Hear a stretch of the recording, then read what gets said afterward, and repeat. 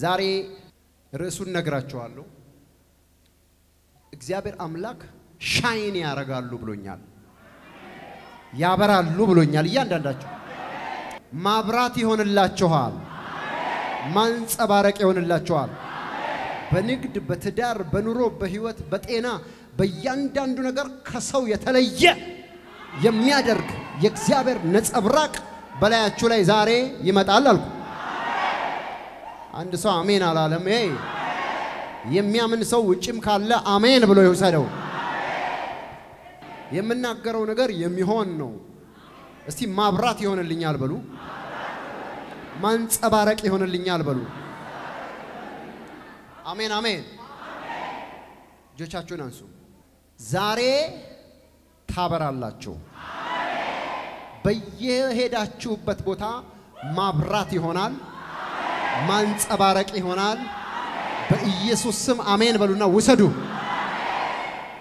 ኢየሱስ ክርስቶስ ጌታ። አሜን አሜን። ሰው እንዴት ማብራት ይችላል? እግዚአብሔር አምላክ የተናገረውን ቃል እናገራለሁ። ሰው ለማብራት የእግዚአብሔርን ክብር መገናኘት አለበት። ታበራላችሁ ስል የሆነ አምፖል እዚህ ላይ ተገጥሞ ትሄዳላችሁ ለማለት አይደለም። የእግዚአብሔር ክብር ያገኛችኋል። ክብር ካገኛችሁ ማብራት ትጀምራላችሁ ማለት ነው። አንድ ሰው አሜን አላለም። ምክንያቱም እግዚአብሔር በቃሉ የነገረን ተስፋ አለ። ይህም ተስፋ በእግዚአብሔር ቃል ላይ በደንብ አድርጎ ተጽፏል።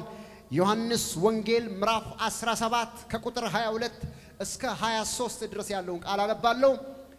ኢየሱስ ክርስቶስ በጌተ ሰማኔ በመጨረሻ በዛች የወይራ ዛፍ ስር ሆኖ የጸለየው ጸሎት ነው። ይሄ ጸሎት ዮሐንስ ምዕራፍ 17 ከ22 ጀምሮ እንደዚህ ይላል።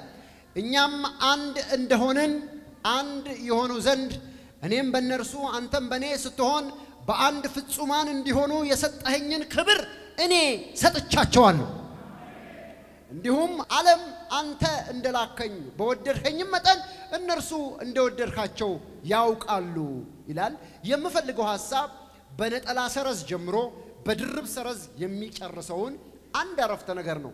እርሱም የሰጠኸኝን ክብር መልሼ ሰጥቻቸዋለሁ። ለዚህ ቃል አሜን ካላላችሁ ለየትኛው ነው የምትሉታል? ኢየሱስ ክርስቶስ እንደዚህ አለ፣ የሰጠኸኝን ግሎሪ ክብር መልሼ ሰጥቻቸዋለሁ። እኔ ክብር ነበረኝ፣ ያንን ክብር ሰጥቻቸዋለሁ። ምንድን ይሄ ክብር ብላችሁ ስታዩ ዮሐንስ ወንጌል ምዕራፍ ሁለት ላይ ጌታ ኢየሱስ ክርስቶስ በቃና ዘገሊላ የወይን ጠጅ አልቆባቸው ሲተራመሱ እያለ ጌታ ኢየሱስ ክርስቶስ ለአሳዳሪዎቹ ውሃ እንዲያዘጋጁ ነገራቸው። ያንንም ውሃ ቀድታችሁ ስጧቸው አለ። ቀድተው ሲሰጡት ትኩስ የወይን ጠጅ ሆነ ይላል። ኢየሱስም ውሃውን ወደ ወይን ጠጅ ቀየረ ይልና በዚያም ክብሩን አይሰማም። በዚያም ክብሩን ክብር ተገለጠ ማለት ሰው ዘለለ ማለት አይደለም። ክብር ገለጠ ማለት ብዙ ጫጫታ ተሰማ ማለት አይደለም። የአንዳንዶች እንደዚህ ስለሚታሰብ ክብር ዛሬ ክብር ነበረ ሲሉ በጣም ሰው ደስ ሲለው በጣም የሆነ ነገር ሲሆን ክብር ክብር ማለት ምን ማለት ነው ካላችሁ፣ ክብር ማለት በቀጥታ ከምልክትና ከድንቅ ጋር ይገናኛል።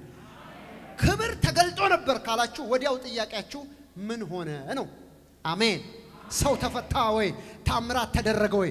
እግዚአብሔር አምላክ ይህንን ክብር ለኢየሱስ ክርስቶስ ሰጥቶት ነበርና ኢየሱስ ውሃውን ወደ ወይን ጠጅ ቀየረና በዚያም ክብሩን ገለጠ ይላል።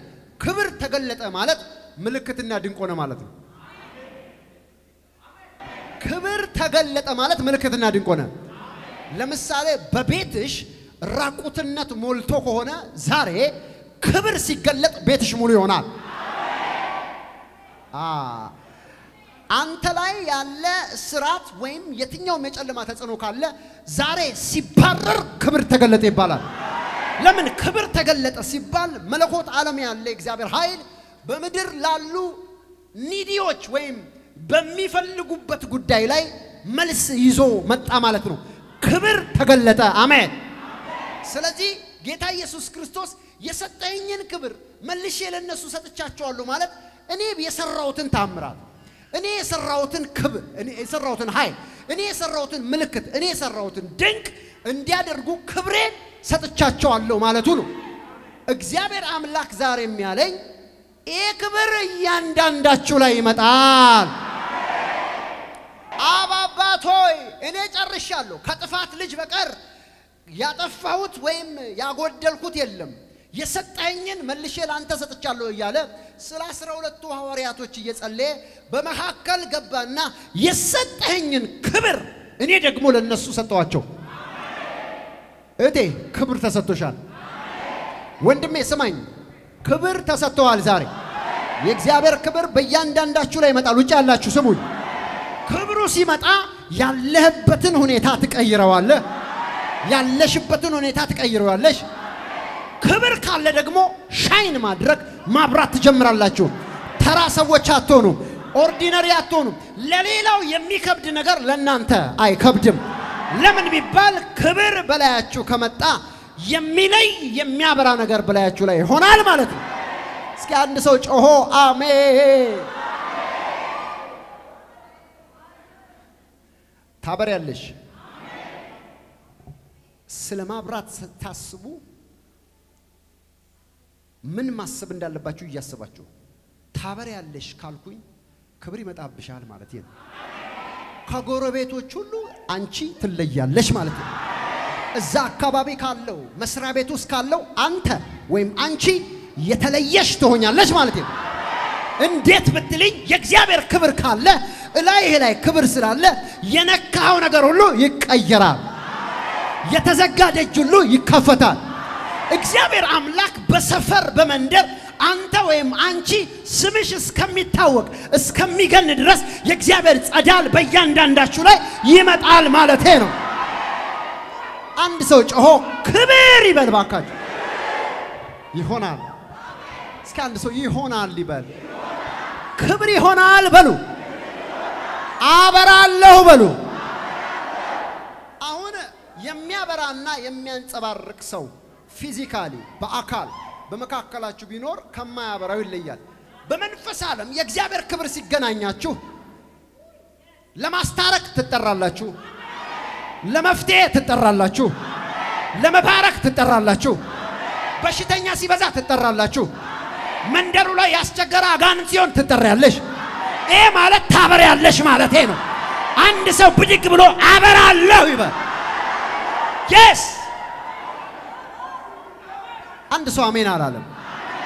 እግዚአብሔር አምላክ አንተ ብቻ ዝም ብለህ ስማ። እግዚአብሔር አምላክ እንደዚህ ይላል፣ ታበራለህ፣ ማብራት ትጀምራላችሁ።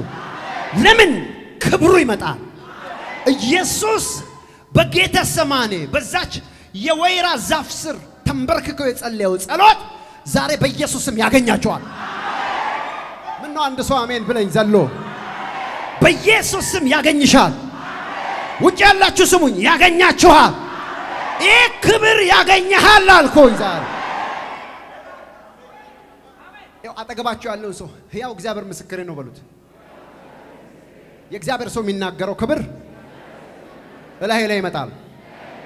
በጨለማ አትፈራም። በችግር ውስጥ አትፈራም። በእሳት ውስጥ አትፈራም። ቦታህ ላይ ከተማህ ላይ ጎረቤት ላይ ስራህ ላይ ትታወቃለህ። በሁሉ ትጠራለህ፣ ትጠሪያለሽ። ለምን I prophesy ትንቢት እናገራለሁ። እግዚአብሔር አምላክ ዛሬ ክብሩን በላያችሁ ላይ ያደርገዋል። አሜን። እንደዚህ ስታልፍ ያውና አለፈ ይባላል። ያው ያው ያው ያው በዚህ ጋር የሚያልፈው እንትን የለበሰው ያውል ያውል ያውል ይባላል። ለምን ቢባል ያንተ ነገር ይለያል አልኩህ እኮ ጂሰስ። ስታልፊ ያቻትና ያቻትና ያቻትና ባለፈው ሌሊቱን ሙሉ እኔ ስጨነቅ አጋንን ሲተናነቀኝ ሲያስቸግረኝ እጇን ዘረጋች፣ ጸለየች። ይኸው እስካሁን ነፃ ነኝ። ያቻትና ይላል የሆነ ችግር ነበረብኝ። ጠራዋትና ጸልይልኝ አልኳት፣ ጸለየችልኝ። ተፈታሁ ያቻትን ነው ይላል። ስታልፍ ያውና ይላል። ያውና ያውና አለፈ። ያውና ያውና አንድ ሰው ውሰዱ። ክብር ያገኛቸዋል። ክብር ማለት ምልክትና ድንቅ ምልክትና ድንቅ ማለት ነው። ኢየሱስም ስራ ሰርቶ ክብሩን ገለጠ ተባለ። የለበሰው ግን ያው ሊሆን ይችላል። ክብር ማለት ግን መለኮት ዓለም ላይ የሚሰራው የእግዚአብሔር እጅ ከአንተ ጋር ሲንቀሳቀስ ክብር ተገለጠብህ ይባላል። አንድ ሰው ዛሬ እግዚአብሔር እንደዚህ ያለኝ በክብር ያበራሉ፣ በክብር ታበራላችሁ። አሜን በሉ። ታበራላችሁ። ማብራት ይሆናል።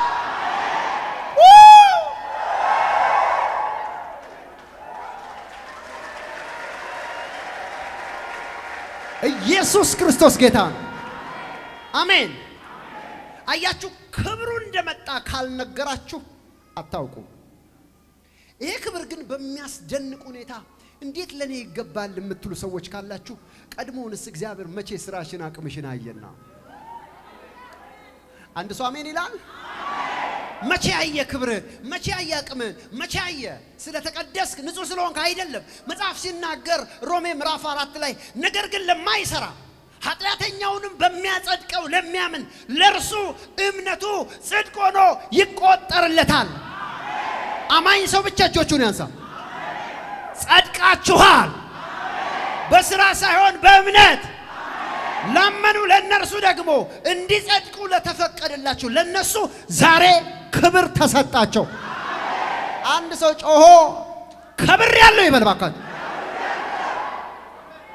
ይሰማል ወይ? እስቲ ክብር ተገልጧል ይበል። አጠገብ ያለው ሰው ጀምር በሉት። አንተ ብቻ ተነሳ በሉት። ሰባት ሰው ያዙና ሰባት ሰው አንተ ተነስ፣ የሰማ ነው ተነስ፣ ተነስ፣ ተነስ፣ ተነስ፣ አትቀልድ፣ እግዚአብሔር ክብር ሰጥቷል። ተነስ፣ ተነስ፣ ተነስ፣ ተነስ፣ ተነስ፣ ተነስ፣ ተነስ፣ ተነስ። እግዚአብሔር ይባረክ። አሜን። ሮሜ ምዕራፍ አራት ቁጥር አምስት ነገር ግን ለማይሰራ የሚለው እሱ ነው። ምዕራፍ አራት ቁጥር አምስት የሚገርመኝ ግን ምዕራፍ ስምንት ቁጥር ሰላሳ ላይ አስቀድሞ የወሰናቸውን እነዚህን ደግሞ ምን አላቸው? ጠራቸው። የጠራቸውንስ እነዚህን ደግሞ አጸደቃቸው። የሚያጸድቅ ማን ነው? አንተ ነህ። አንዳንዱ ሰው የሆነ ነገር የሆነ ነገር በቃ ጊልቲነስ ጥፋተኝነት ተሰምቶት ራሱን አስሯል። ሰይጣን የሚያደርገው አንተ እኮ እንደ እንደዚህ ሰርተህ አይደል እንዴ እግዚአብሔር መቼ ይቅር አለ እንደዚህ ሆነ አይደል ምናምን እያለ አንተ ራስህን ካሰርክ ከቅባት ጋር አትገናኝም። ቀድሞውንም ያንተ ስራ አልታየም። ያጸደቀህ እግዚአብሔር ግን በላይህ ላይ ታይቷል። አንድ ሰው ጮሆ አሜን ይበል። ነገር ግን ይላል እነዚህን ደግሞ ጠራቸው ይላል። የጠራቸውንስ አጸደቃቸው። ማ ራሱ እግዚአብሔር። ከዛስ ያጸደቃቸውንስ ምን አደረጋቸው? እነዚህን ደግሞ አከበራቸው ይላል። እስቲ አንድ ሰው ተጠርቻለሁ ይበል፣ ጸድቅ ያለው ይበል፣ ያለው ይበል። በማ ስራ? በእግዚአብሔር ልጅ በኢየሱስ ክርስቶስ ስራ ሁላችን ጻድቅ ተደርገናል። አሜን። እኔን የእግዚአብሔር ቅባት በላዬ ላይ እንዲገለጥ ለብዙዎቻችሁ መድኃኒት እንደሆን የሆንኩበት ምክንያት በጣም ጻድቅ ስለሆንኩ በጣም ጻድቁ ስለሆንኩ አይደለም። የኔ ስራ አይደለም የሚታየው፣ እግዚአብሔር በልጁ ለኔ የሰራው ስራ ነው የሚታየው። ከእርሱ ስራ የተነሳ እኔ ጻድቅ ነኝ። ከእርሱ ስራ የተነሳ አንቺ ጻድቅ ነሽ። ከእርሱ ስራ የተነሳ አንተ ጻድቅ ነህ። ጻድቅ ከሆንክ ደግሞ ክብር ይገባሃል፣ ከብረሃል። አንድ ሰው ጮሆ ክብር ያለው ይበል፣ ክብር አለኝ ይበል። አሜን። እንግዲያውስ ምን ትላላችሁ? ታበራላችሁ። You start to shine። አሜን። ከሁሉ በላይ ሱቅ ጀምረሽ ያንቺ ሱቅ አካባቢ ካሉት ሀምሳ ሱቆች ይለያል።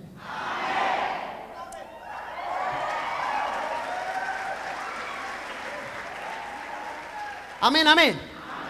አሁን አንዳንዶቻችሁ personal business የግል ቢዝነስ እዛው ቤት ውስጥ የጀመራችሁ ሰዎች እናንተ የጀመራችሁት ነገር ከሁሉም ይለያል። ምንም ስለሆነ አይደለም። እግዚአብሔር ዛሬ ሊያከብራችሁ ወዷል። ዛሬ የምስራች የምስራች ምስጋና የሚመጣው በመስሪያ ቤት፣ እድገት የሚመጣው በመስሪያ ቤት መጀመሪያ ለአንተ ወይ ለአንቺ ነው። ለምን ቢባል ክብር ተፈቅዷል። ለአንተ የሚያከብር ክብር በላያችሁ ላይ መጥቷል። ዛሬ አንድ ሰው ጮሆ አበራለሁ ይበል።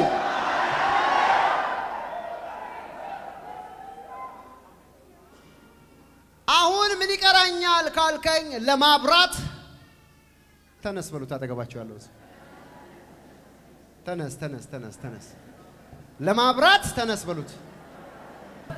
የእግዚአብሔር ቃል ሲናገር ኦማ ጋሊ ቫሪዲያ እግዚአብሔር አምላክ ዛሬ ምን አለኝ ካልክ ኢሳይያስ ምዕራፍ 60 ቁጥር አንድ ላይ እንደዚህ ይላል። My God ኢየሱስ ይባረክ። ኢሳይያስ ምዕራፍ 60 ቁጥር አንድ ላይ እንደዚህ ይላል ብርሃንሽ መጥቷልና እ የእግዚአብሔርም ክብር ወጥቷልና ተነሺ። አልሰማኝም። አንድ ሰው ብርሃንሽ መጥቷልና የእግዚአብሔርም ክብር ወጥቷልና ተነሺ አብሪ። ብዙ ሰው ይህን ቃል ሲናገር ተነሺ እና አብሪ ይላል። እና የሚባል ነገር የለም። ሁለቱ አንድ አይደለም። ተነሺ ነጠላ ሰረዝ፣ ከዛስ አብሪ።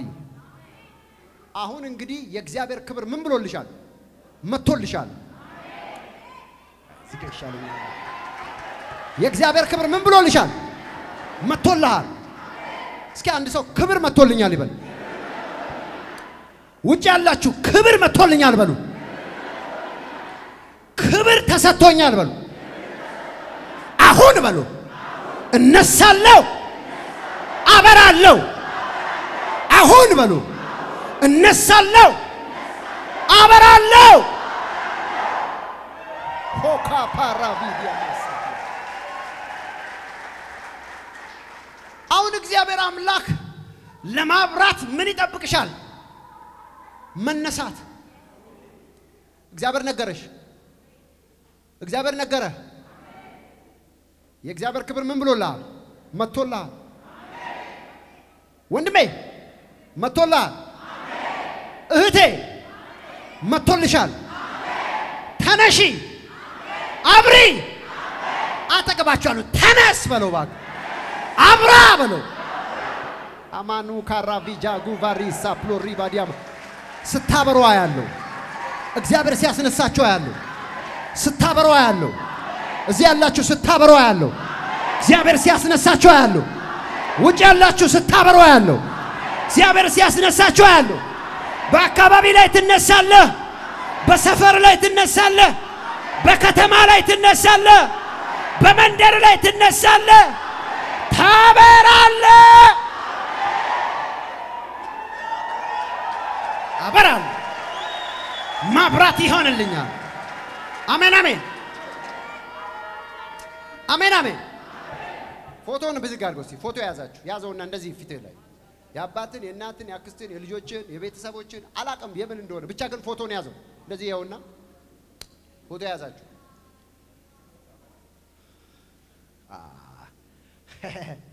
አንተ ወንድሜ ወይ አንቺ እህቴ ተናገረው ፎቶ ላይ። ቃል አወጣለሁ በሉ። ማብራት ትጀምራላችሁ። ፈውስ ይሆናል። ታምራት ይሆናል ቀንበር ይሰበራል። እስራት ይበጠሳል። ታሪክ ይቀየራል። ተናገሩ ለፎቶ። በኢየሱስ ስም አሁን ይሆናል። አሜን። ቃል ክንፍ አለው። ቃል እግር አለው። ቃል እጅ አለው። እዚህ ፎቶ ላይ ስትናገር እዛ ሄደዋል። አረ አንድ ሰው አሜን።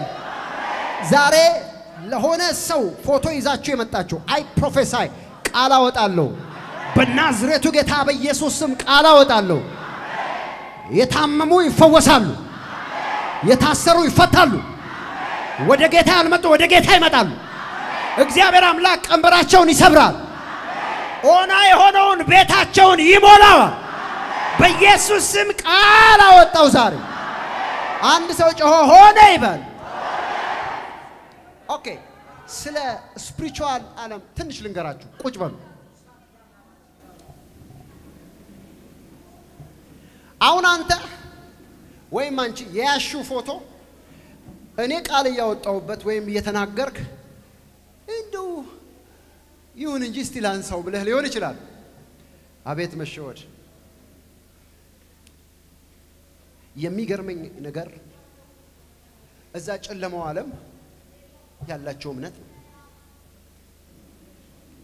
አንተ በሌለህበት ቦታ ፎቶውን ወስደው እንደ ጥላ ወጊ መሃሉን በስተው ያለህበት ቦታ እንድትሞት ያደርጋሉ። ደጋሚዎችና ጠንቋዮች፣ አስማተኞችና ደብተራዎች እንደዚህ ያደርጋሉ። ፎቶ ይዘው የለም እኮ አንተ ስምን ይዘው how it is spiritual connection መንፈስ ዓለም ላይ ያለ connection በመንፈስ ዓለም እንደሚሆን ያውቃሉ። ወንድሜ ያለኸው የብርሃኑ ዓለም ውስጥ ነው የተጠራኸው። ወደ እግዚአብሔር መንግስት ነው የተጋበዝከው። እንዴት ፎቶን አንተ አንድ ጠንቋይ በሚስማር በስቶ ይድፋት ይድፋው ብሎ ከሚያደርገው በላይ እንደምታረግ እንዴት አታምንም?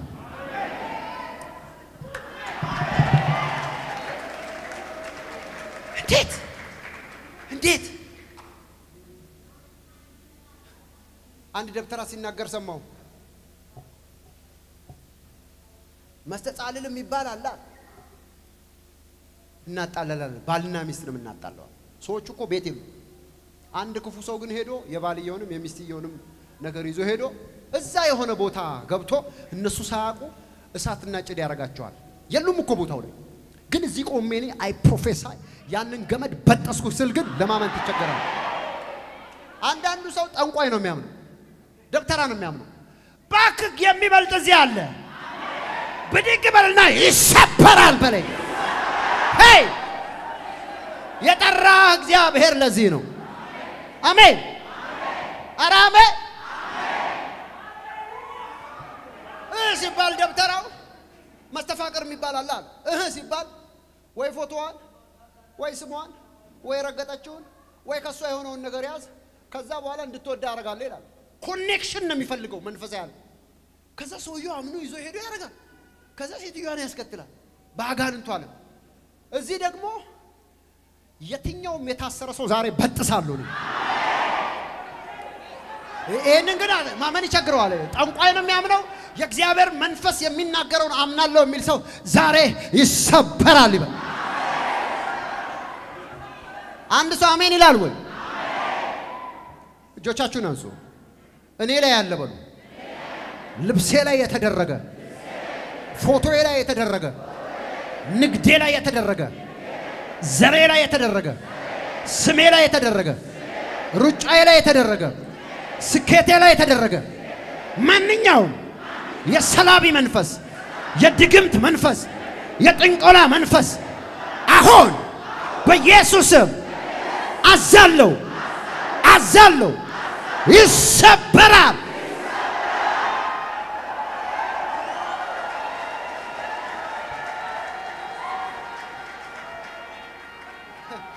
አንዳንዱ ይገርመኛል፣ አንዳንዱ ይገርመኛል። በጠዋት በሩን ስከፍት የምሰራበት ቦታ ላይ የሆነ ግራዋ ነገር አድርገው እጣቢ ደፍቶ አገኘው። ከዛን ቀን ጀምሮ አይ ግን እኔ ይህን ጸልዬበታለሁ ውሃውን ውሰድና ቤት ላይ እርጨው ሲለው የኔን ለማመን ይቸገራል። የጠንቋይ ነው እንደ ሰው የሚያምነው የሚበልጥ እዚህ አለ። ገለብጣለሁ እንታ ቻፓኩ ራዲያ ጆችን አንሳ። ሰው የጠንቋይ ያምናል። የደጋሚ የደብተራ ነው የሚያምነው። ግራዋ ተደፋ፣ ውሃ ተደፋ። የሚበልጥ እዚህ አለ። እኔ ደግሞ እንደው ዛሬ የሚያዝ ውሃ ባይኖር ኮቴህን ቀብቻለሁ። ዛሬ የእግዚአብሔርን እሳት ኮቴሽ ላይ ጠርቻለሁ። አካባቢው ላይ ስትረግጪ የአጋንንት ኃይል በጌታ በኢየሱስ ስም በእሳት ኃይል ተበልቶ ይወድቃል። ዛሬ እናገራለሁ። እግር ተቀብቷል። እግርሽ ተቀብቷል። እጅ ተቀብቷል። እጆቻችሁ ተቀብተዋል። ዓይንሽ ተቀብቷል። የሚያይሽ ይወድቃል። አንድ ሰው አሜን።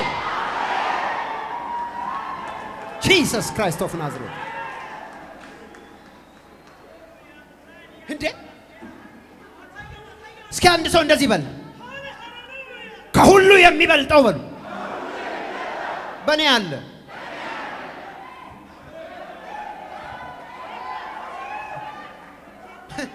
አንድ ሰው እንደዚህ ሲል ሰማሁ። ምስክርነት አለ እኔ መናፍስት ጠሪ ነኝ አለ። እሺ ሲባል ሁሉን ነገር ሰራ ሰራና ከፍ ያለ ነገር ሲሆን ከፍ ያለ ገንዘብ አስገባና ጉዳዩን እኔ ራሴ ፊት ለፊት ጠርቼ እጠራለታለሁ አለ። ማንን ሲል ሆራ ሄድና ከሌሊቱ ዘጠኝ ሰዓት ራሱ ዋናውን ቆሪጡን ጠራዋለሁ። ከዛ ጠርቼው የሚፈልገውንና የሚፈለገውን ነገር አገናኛለሁ አለ። መናፍስት ይጠራል። ከዛ መናፍስት አናግሮ እነሱ ይነግራቸዋል። እግዚአብሔር አምላክ ብሎኛል ስለው ደግሞ አያምነኝም። አንድ ሰው የአጋንንቱን ያምናል፣ እዚያ አያምን። ነገርኳችሁ፣ እግዚአብሔር አምላክ ታበራላችሁ ብሏል። ቻታቡ ጋዲያ ባሳ ያኛው እጆችን አንሳ። የሚበልጥ እዚህ አለ በል እባክህ። ይሄ የእግዚአብሔር ቤት ነው በል ጠላቶቼ በሉ ወገባቸውን ሰብራለሁ በል ዛሬ። አሜን በል እባክህ።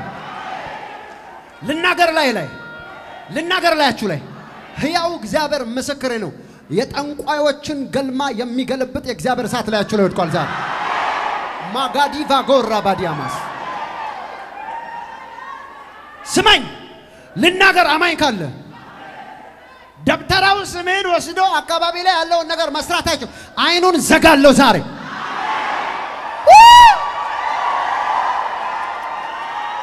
ማካዲያ ቦኮሮ ቦዲያ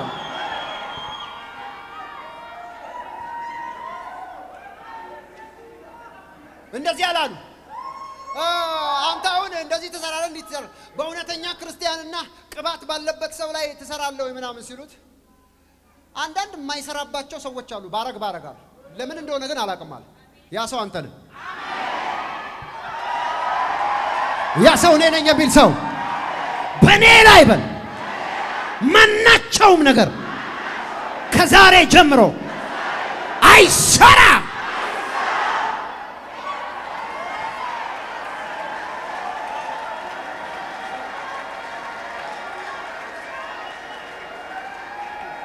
ስማኝ ደብተራውና ጠንቋዩ ስም መጥቶለት ፎቶ መጥቶለት ምን እንደሚያደርግ ግራ ይገባዋል።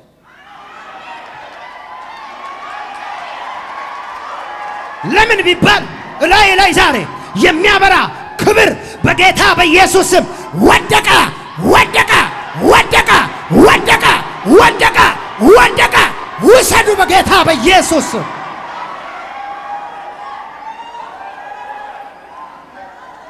እግዚአብሔር አምላክ ምስክሬ ነው። ኃያላን ይነሳሉ።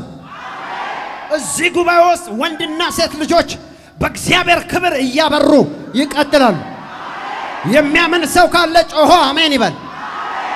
በእኔ ላይ አይሰራም ይበል።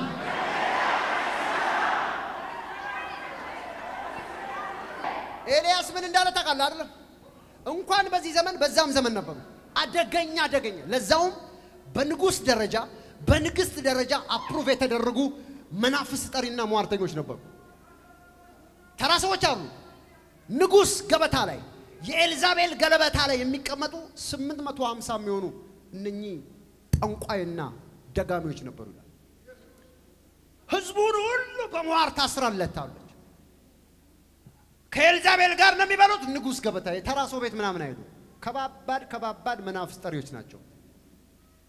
ማካዱቫ ነገር ግን እግዚአብሔር አምላክ እንደ ዛሬው እግዚአብሔር እንዲያበራ ክብር ያስቀመጥበት ኤልያስ ነበረ።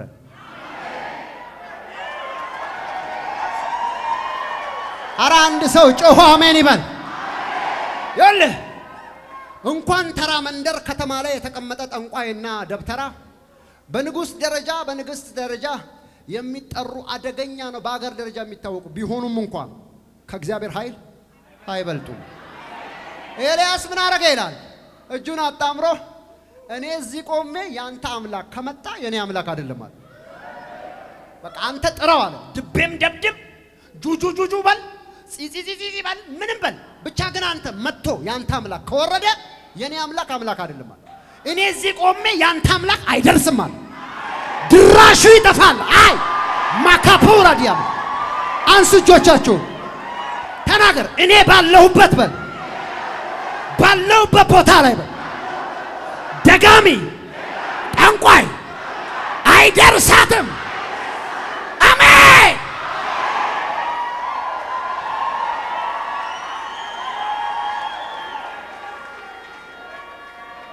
መስዋዕተ ሰርክ እስከሚገባ ድረስ እኩለ ቀን ድረስ ጠብቁ ይላል። እኩለ ቀን ማለት morning ጠዋት ከጀመሩ ስድስት ሰዓት የምሳ ሰዓት እስከሚደርስ ድረስ ችግር የለም አለ። እንደዚህ ብሎ ጥራ ስምንት መቶ ሀምሳ ሰው ቆሞ ዋይ ዋይ በኣል ሆይ ስማን እያሉ ፊታቸውን እየገነጠሉ ጠንቋዮቹ ጠሩ ይላል። መምጣት አለ አለ ተዘግቷል። በቃ እጅን ኪስ ከተህ ደብተራ ጀምር ይላል። እጅን ኪስ ከተህ ጠንቋይ ሞክር ሞክር፣ ዘግቼዋለሁ። መምጣት እኔ ባል አይደርሳት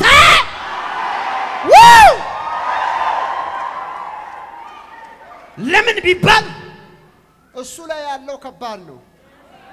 እንደለመደው ጁጁ ብሎ ቁጥር ከቁጥር ጋር ኮከብ ምናምን ቆጣጥሮ ስብ አድርጎ ምናምን አድርጎ እንደ ተራ ሰው ሊያደርግ አይችልም።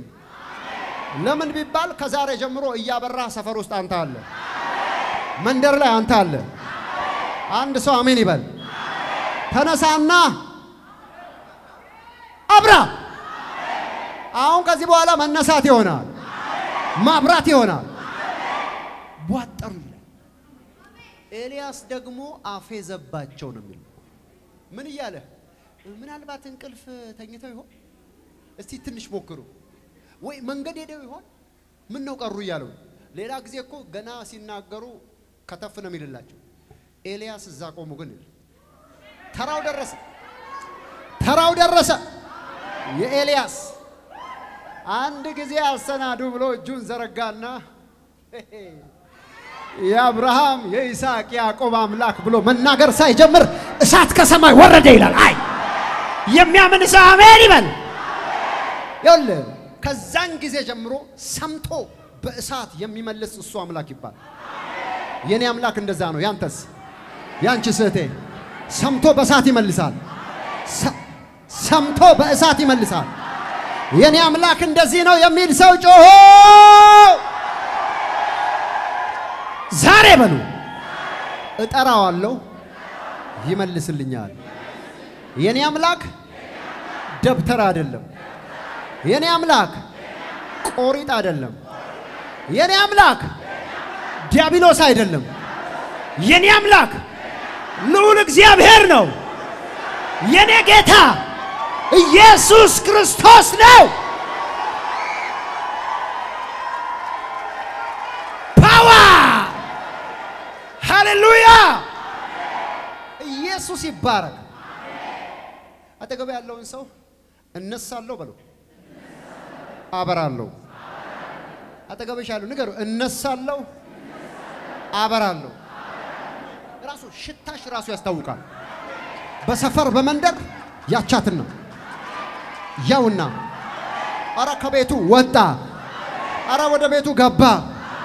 ስለ አንተ ስለ አንቺ ዝና ሲያወሩ ይቀጥላሉ። ለምን ቢባል ዛሬ ትነሳለህ፣ ታበራለህ። ዛሬ ትነሻለሽ፣ ታበሪያለሽ። ለጌታ ለኢየሱስ ክብር፣ እልልታ፣ ጭብጨባ። አሜን።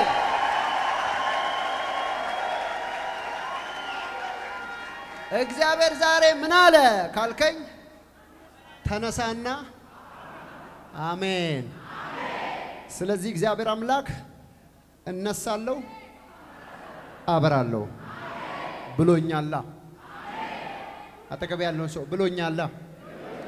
እንግዲህ ቅርታ አድርግልኝ። እኔም ማምነው ከሰማይ የመጣውን ነው ብሎኛል። ስለዚህ አበራለሁ ያለኝ ደግሞ ክብሩን እንደሰጠኝ ነው ያወራኝ። አሜን።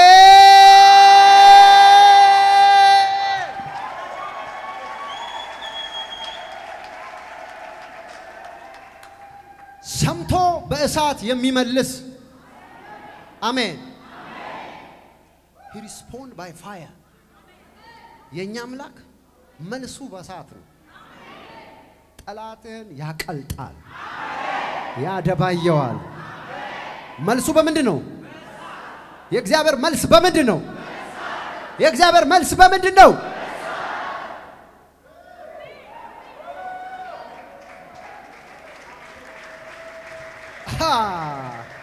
ስሙ፣ እኔ አሁን ስጸልይ በፎቶ የመጡ ቤተሰቦቻችሁ ሁሉ ይፈታሉ። እኔ እዚህ እየጸለይኩ በፎቶ የመጣችሁ የአንቺ ቤተሰብ፣ የአንተ ቤተሰብ፣ የአንተ አባት፣ የአንተ እናት መርገሟን ይሰብራል ዛሬ። አሜን። መርገም ታውቃላችሁ፣ የረዥም ጊዜ ስር አለው። አሜን። አራት ትውልድ ድረስ ነው መርገም የሚሰራው ታውቃለህ። ሰምታችኋል? ስንት ትውልድ? አሁን አንተ ከመርገም ነፃ ለመሆን ብቸኛው አማራጭ መፈታት ነው። ካልተፈታሽ ግን አራት ትውልድ ወደ ኋላ ያለው ካንቺ ጭምር አራት ትውልድ ይጨመርና መርገሙ ጠቅላላ እላይሽ ላይ ነው የሚቀመጡ። ይሄ ደግሞ ዛሬ ይሰበራል። አራት ትውልድ ማለት መቼም ሰው ከአባት ብቻ አይወልድም። አባትም እናትም አለ። ከአንቺ ከፍ ሲል ሁለት ናቸው አይደለም? አንድ አባት፣ አንድ እናት፣ አንድ ትውልድ። ሁለተኛው ትውልድ ደግሞ የእነሱ እናትና አባት ነው።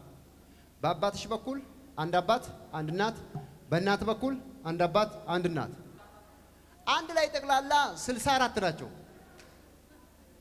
አሁን አንድ ሰው ከኋላው ስልሳ አራት ሰው ተሸክሞ ነው የሚሄደው። የአራት ትውልድ እርግማን ማለት እዛ ያለ ደም ብዛት፣ እዛ ያለ በሽታ፣ እዛ ያለ ጣዖት፣ እዛ ያለ አምልኮ፣ እዛ ያለ እዛ ያለ አለመሳካት፣ እዛ ያለ አንዳንድ ሰው የራሱ ችግር ይመስለዋል። ወደ ኋላ አራት ስልሳ አራት ሰው ላይ ላይ ተሸክመን የምትሄደው እግዚአብሔር ደግሞ መርገም ሰብራለሁ ማለት ከስልሳ አራቱ ይፈታሃል አንተ